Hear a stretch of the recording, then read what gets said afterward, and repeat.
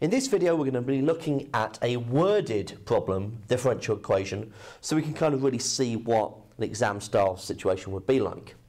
A water tank is filled in such a way that the rate at which the depth of the water increases is proportional to the square root of the depth. Initially the depth is 4 metres, after a time t hours the depth is h metres. Write down a differential equation for h. Now we've already looked at direct and inverse proportion in previous videos, okay? So go and have a look at those again.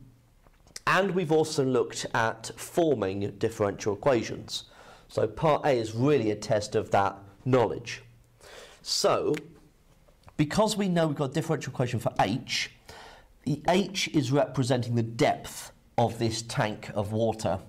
So the rate at which the depth of the water, or the depth of the tank, is changing with respect to time, we're saying is proportional to the square root of the depth. So we would write that, okay? Now we know that if we're saying that dh by dt is proportional to root h, then dh by dt is equal to k lots of root h. So that is my first bit for part A. Okay, so that's my answer to A. Now I need to really solve that equation.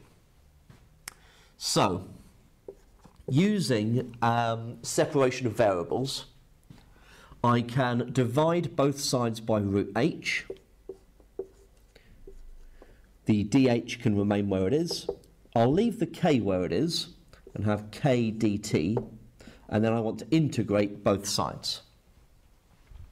Now the 1 over root h is h to the minus a half. The right hand side can integrate to kt plus c. Now h, h to the minus a half will integrate, uh, add 1 to the power, divide by the new power to 2h to the half. So there is um, my general solution. Now, it's not quite there yet, but we're getting there, okay? Now, if I divide through by 2, and I can rewrite h to the half as root h, now, dividing the c by 2, I can just replace it with another constant, so let's call that a. Now, I need to use one of my initial conditions.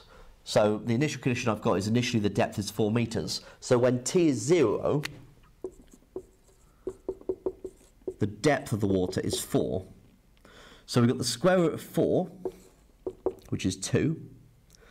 Uh, when t is 0, I get 0. So a must be 2. So therefore, we have that root h is equal to 1 half kt plus 2. Okay, as was required in part B. Now part C, given that h is 16 when t is 6, find the value of k. So we've been given effectively like a boundary condition because I've been told that when t is 6, so when time is 6, the depth of the water is 16. So I can substitute those into this equation to work out that value of k. So I've got the square root of 16, which is 4. I've got 1 half k times 6 plus 2. Now if I take the 2 from both sides, half of 6 is 3, so that means that k is 2 thirds.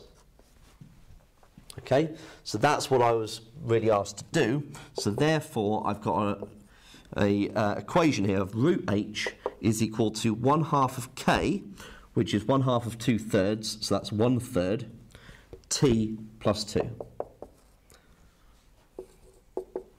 Now D, find the time taken to fill the tank to a depth of 36 metres.